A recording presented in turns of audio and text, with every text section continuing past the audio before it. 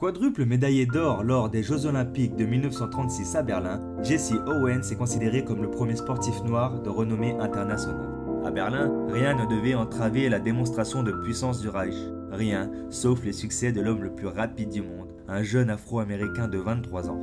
En raflant 4 médailles d'or sous les yeux d'Adolf Hitler, Jesse Owens est devenu la star référence des Jeux de Berlin aux yeux du monde entier. Pourtant, de retour chez lui, le héros national retrouve la ségrégation et doit à nouveau utiliser les portes de service des restaurants et des hôtels.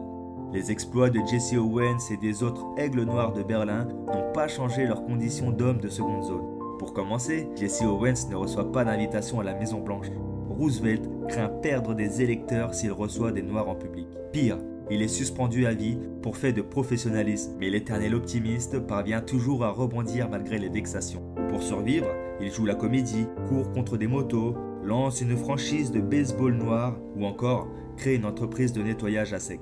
Il lui faudra traverser deux grandes périodes de troubles, la Seconde Guerre mondiale, puis la période de lutte pour l'obtention des droits civiques pour prendre conscience de ce qu'il a apporté en 1936, pour le monde libre comme pour ses compatriotes noirs.